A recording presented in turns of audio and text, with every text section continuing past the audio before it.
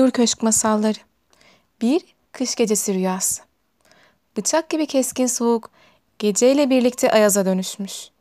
Rüzgarın saçaklarında ve ince dallarda çıkardığı ıslık sesi insana ürperti veriyormuş. Daha akşam karanlığı çökmeden kasabadan eleyak çekilmiş. Tüten sıcak ocakların başına yığılınmış. Günlerdir yağan kar yolları, sokakları bembeyaz bir yorgan gibi örtmüş. Gülperi yün yatağında, tatlı sıcaklığında, çoktan daldığı rüyalarının rüyalar aleminde. Geniş, kırlarda sarı kanatlı kocaman bir kelebeği kovalıyormuş. Gülperi, kelebek bir çiçekten öbür çiçeğe konuyormuş. Bu, minik kızın kendisini sevip okşamasına izin veriyormuş. Kelebek kaçmış. Gülperi kovalamış bir süre ve derin bir uçurumuna kadar uçurumun kenarına kadar gelmiş Gülperi.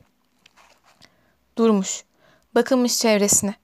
Kulaklarına derinden tiz bir ağlama sesi geliyormuş. Uçuruma doğru eğilmiş, bakmış. Karanlık, derinliklerdeki en dip yerde küçük bir bebek gibi ağlayan Gülperi kollarını uzatmış bebe. Ama uçurum çok derinmiş. Minik kızı çaresiz kalmış. Uçurumun dibindeki bebek yürek parçalayıcı bir sesle ağlıyor ağlıyormuş. Birden uyumuş Gülperi. Sıcacık yatağında karanlığında açmış gözlerini. Keskin rüzgar hala dallarda, saçaklarda tiz bir ıslık sesi çıkarıyormuş. Ama o da ne? Kulak kabartmış Gülperi. Rüzgarın ıslığına bir başka tiz sesle karışıyormuş. Tıpkı az önce rüyasındaki bebeğin ağlama sesi gibi. Kalkmış, pencereye yürüyüp perdeyi aralamış. Ve görmüş. Bembeyaz karlar üzerinde kara bir leke gibi duran köpeği görmüş. Bahçe duvarının dibindeymiş yavru köpek ve başını havaya dikerek ağlıyormuş. Gülperi yeniden yatağına yürümüş. Kılın tiftik battaniyeyi çekip almış ve bedenine sımsıkı sarmış. Sonra papuçlarını giyip kapıdan çıkmış. Dizlerine kadar karlar içinde bata bata yürümeye başlamış. Yavru köpeğe doğru. Battaniyeye sarılı bedeni korunmalıymış ama kara gömülen ayakları ve bacakları sızlamaya başlamış. Birkaç adımdan sonra köpeğe kadar varamayacağından korkmuş, dişlerini sıkmış. Annesinden öğrendiği duaları mırıldana mırıldana bir adım daha atmış. Sonra bir daha bir daha yavru köpek Gülperi'yi görünce ağlamasını kesip kuyruğunu sallamaya başlamış. Aralarında 18 adım kadar mesafe kalmış ama Gülperi artık bacaklarını hissedemez hale gelmiş. Kollarını bir kucak gibi açarak uzatmış yavru köpeği. Hadi sen de gel. Ben tükendim artık ne olur gel. Küçük kız köpeği sırtındaki battaniyenin altına sokmuş. Geriye dönmüş ve gelirken açtığı kar çukurlarına basa basa evin kapısına yürümüş. Kucağındaki köpeği kapı önündeki paspas üzerine yatırmış.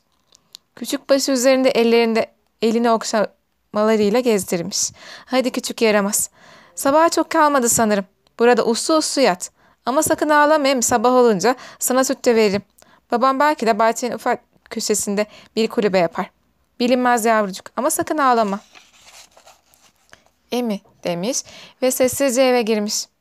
Sıcak yatağına yatıp yeniden uykulara, rüyalara dalmış Gülperi.